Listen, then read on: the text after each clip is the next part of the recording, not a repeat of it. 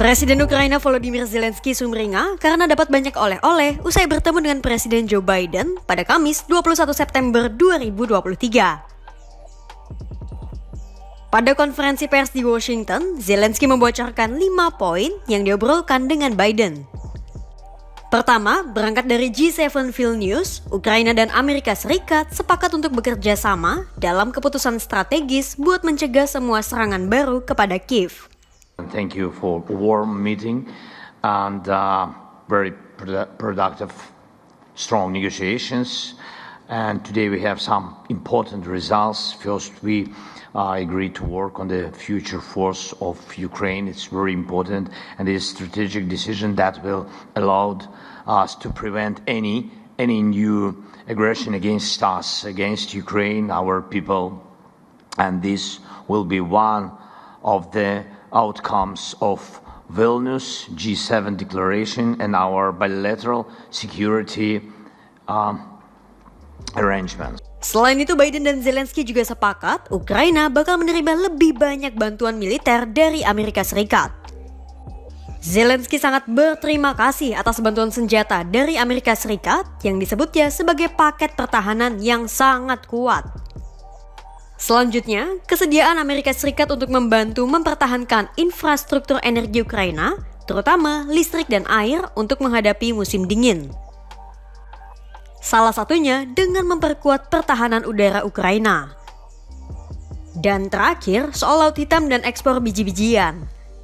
Zelensky bilang sudah ada langkah yang bakal diambil Ukraina dan Amerika Serikat buat terus memperluas ekspor gandum Ukraina. Reached new agreements that will strengthen Ukraine's defense cap capabilities. Thank you so much. More details will be announced uh, shortly. And shortly, I thank the United States of America and Mr. President for the new defense package for Ukraine, a very powerful package. Thank you so much. And it has exactly what our soldiers need now. Fourthly, the United States will be helping Ukraine with uh, strengthening our air defense during this winter season.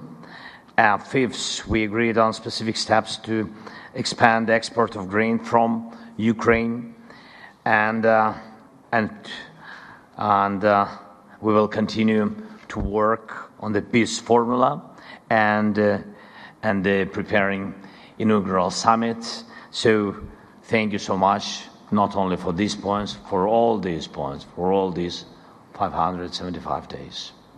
Thank you.